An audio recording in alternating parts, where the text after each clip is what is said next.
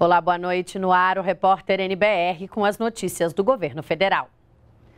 Levantamento feito pelo governo federal mostra que as rodovias do país estão em melhores condições. Uma das rodovias melhor avaliadas é a BR-070, que passa pelo estado de Goiás. E os motoristas confirmam essa informação. Quem mostra pra gente é a repórter Luana Karen. Bené trabalha há 33 anos atrás do volante de um caminhão. Atualmente faz fretes em Águas Lindas de Goiás, cidade do entorno do Distrito Federal. Todo dia passa pela BR-070 e não tem do que reclamar. 100%. De, de, placa, de tudo, toda boa, não tem buraco não. A BR-070 foi uma das rodovias avaliadas pelo DENIT. Ela começa no Distrito Federal, passa pelo Goiás e corta o Mato Grosso, chegando à fronteira do Brasil com a Bolívia. A maior parte dos 1.300 quilômetros da 070 foi bem avaliada. O DENIT avaliou mais de 52 mil quilômetros de rodovias federais. Quase 70% delas estão em bom estado de manutenção. Pouco mais de 20% foram avaliadas como regular.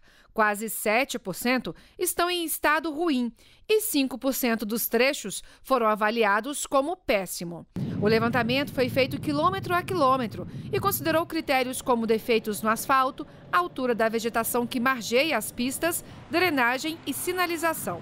A partir de janeiro de 2018, a pesquisa vai ser feita de três em três meses. A meta é fazer o levantamento todo mês. O ICM ele é um índice que foi idealizado pelo DENIT para a gente conseguir fazer o levantamento da malha rodoviária, é, das condições da malha rodoviária do Brasil como, como um todo, né? E de forma rápida, né, para a gente ter uma frequência de levantamentos é, muito maior, para a gente conseguir verificar se, se aquelas condições estão evoluindo ou evoluindo, para a gente conseguir tomar umas decisões de acordo com, com as ações de manutenção que a gente tem. Seu Alcino sabe bem a importância de transitar por rodovias bem conservadas. Ele dedicou mais da metade da vida às estradas. Agora, já aposentado, faz fretes pela 070, num trecho que o deixa tranquilo para continuar trabalhando. O cara que disser que, a, que essa BR aqui é cheia de buraco é correta dele.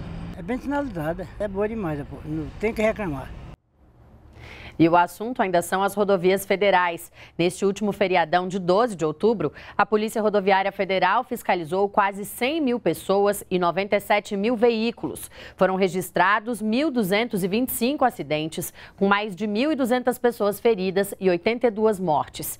Ao todo, foram quase 46 mil infrações. Cerca de 900 motoristas foram multados por dirigir após ingerir bebida alcoólica. E a falta do cinto de segurança gerou mais de 3.100 multas Quem teve carteira assinada entre 1971 e 1988 e ainda não sacou o valor total das cotas de participação tem direito ao saque do fundo PIS/PASEP.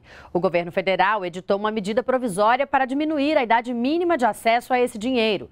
No caso dos homens, de 70 para 65 anos. E no caso das mulheres, idade mínima de 62 anos. Também estabeleceu um calendário para o pagamento, que começa nesta semana. Na primeira etapa de pagamentos das cotas do PIS/PASEP, que começa esta semana, serão contemplados beneficiários com 70 anos ou mais.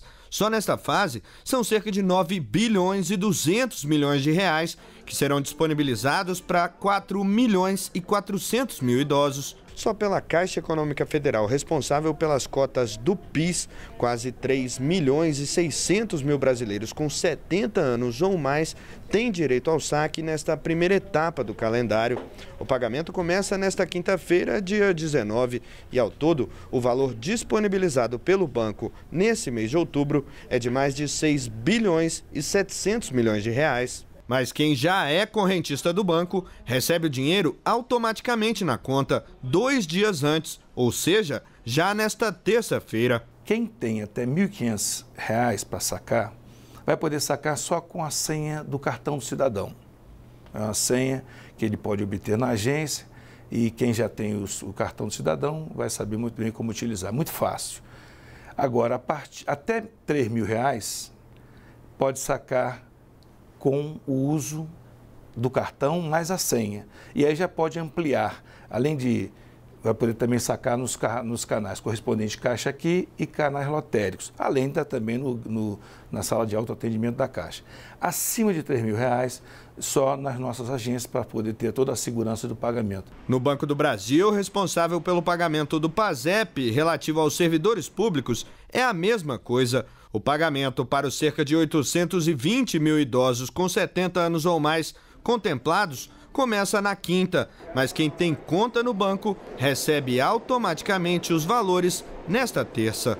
Com essa medida provisória, passa a ter direito os beneficiários correntistas do Banco do Brasil a crédito direto na conta corrente e também é, o banco está disponibilizando uma ferramenta onde eles poderão indicar contas correntes em outros bancos para receber esses créditos. Para saber se tem algum saldo disponível, basta consultar o site www.bb.com.br/pasep. No caso do PASEP, ou a página www.caixa.gov.br cotas PIS para as cotas vinculadas ao PIS.